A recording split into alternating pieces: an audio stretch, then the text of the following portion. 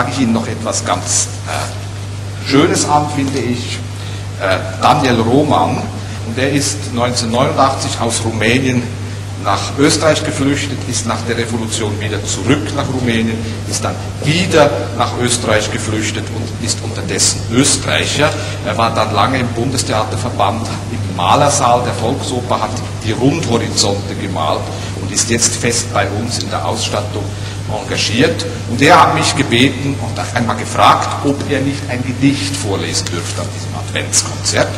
Und ich habe ihm gesagt, ja, rumänische Gedichte, wissen Sie, die verstehen wir nicht. Und er hat gesagt, er möchte gerne ein österreichisches Gedicht vorlesen. Sie hören also jetzt als erstes ein österreichisches Gedicht von Daniel Roman aus Rumänien Ihnen vorgetragen.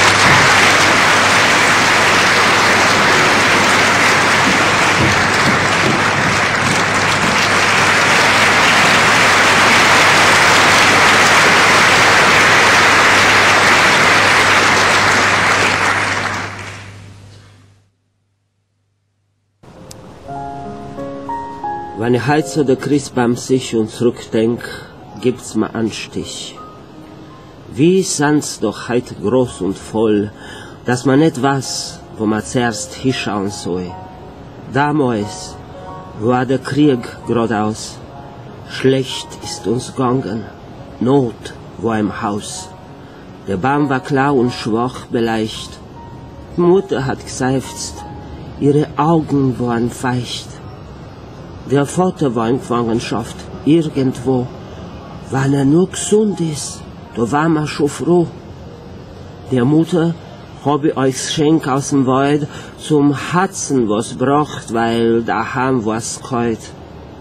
So sind wir gestanden vor dem kleinen Baum. Ich hab mich beherrschen müssen, dass ich nicht wann. Gern hätte er Spielzeug gehabt. A Kleinigkeit. Ich war halt nur ein Bur und noch nicht so gescheit. Kleine Kerzenstummel vom letzten Jahr waren auf den Zweigen ohne Engelstor. Kein Spritzkerzen, kein Schmuck, keine Noscherei. Der Zeit ist, Gottlob, schon längst vorbei. Nach dem stille Nacht von Herzenshunger ist für mich das Weihnachtswunder gekommen. Ganz heimlich hat die Mutter eine Pracht, eine große Portion Kaiserschmarrn gemacht. Ich glaub, so eine Freude hat's nie mehr gegeben. Es war, als das Christkindl schweben.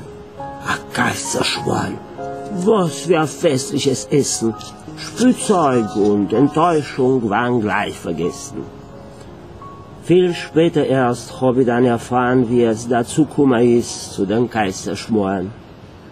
Die Mutter hat ihren letzten Schmuck hergeben, damit mir einmal ein Weihnachtswunder erleben. Siehst, und an das denke ich jedes Jahr zu Weihnachten.